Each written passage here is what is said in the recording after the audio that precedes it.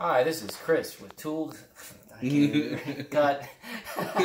He's gonna love that. Say Danny Lipford, and you're right in like Flynn. All right. Um, okay, so here's your remote on off.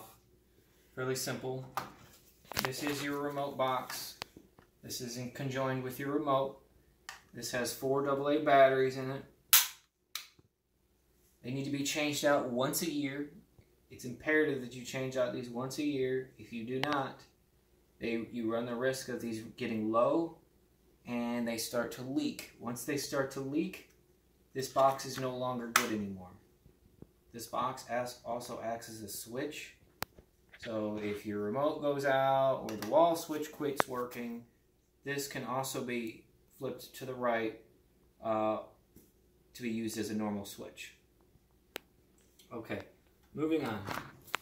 Uh, this is your pilot control knob or your gas control knob. This should be the only time you get down here is at the beginning of the season to light your pilot. So on this knob, it is hard to see, but on the left we have off. Right here, towards 11 o'clock, we have pilot. Pilot has a raised L. That is the pilot position, is the raised L. And then over here we have on. And then right here, all the way at your 9 o'clock, is the position that you're in. It's a, like a little teardrop piece of metal here.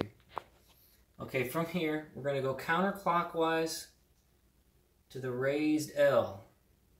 And it, short, it should sort of slide into place on the raised L. So push in and hold the raised L. Now, if you have one of these, this works really nicely, as opposed to pressing the sparker. I'm going to show you with this one. Light your matchstick first. Press in here and hold the pilot button down. Stick it down here by the pilot and continue to hold the pilot button until the nozzle on the pilot turns cherry red.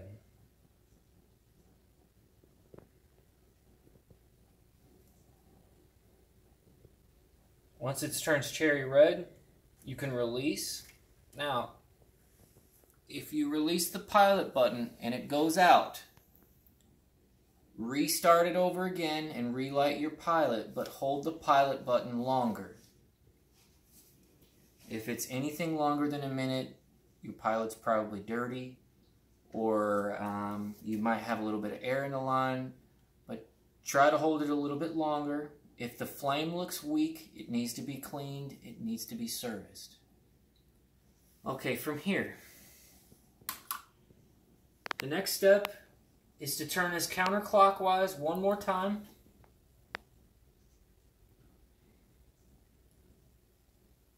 And now we're in the on position.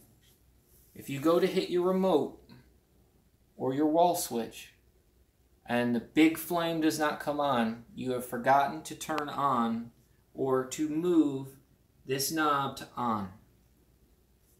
Okay, so once we have this into on, we can now turn on the unit.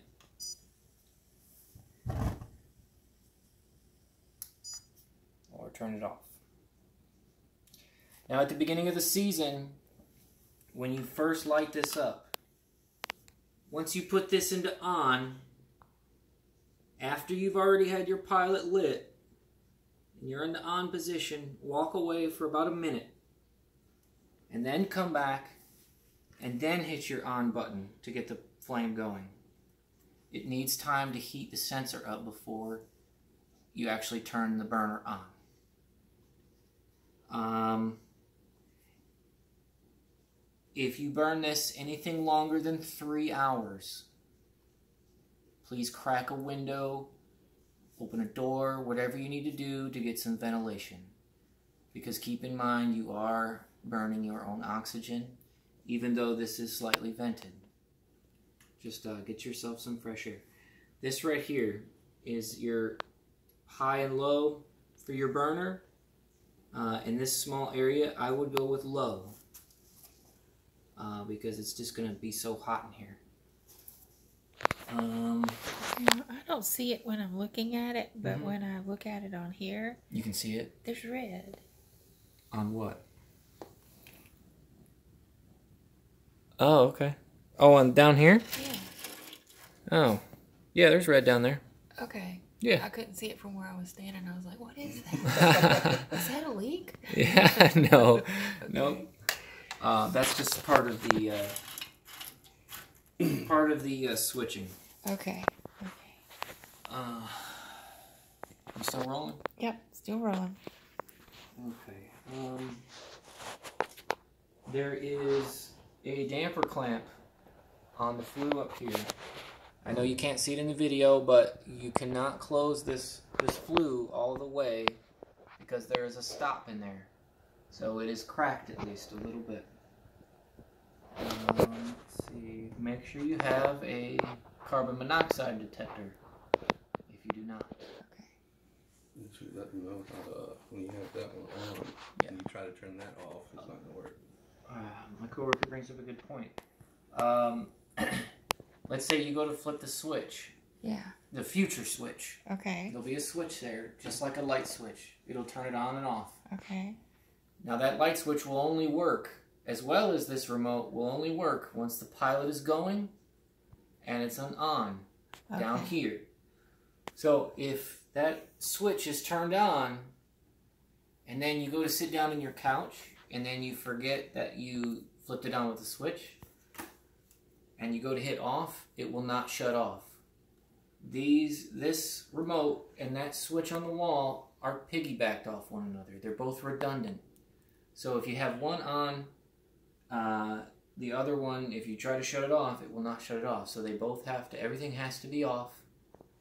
Uh, so you just make sure everything's off. So So if you flip it by the switch, Turn it it off, off. by the switch. gotcha. If you turn it on with the remote, shut it off with the remote. Gotcha.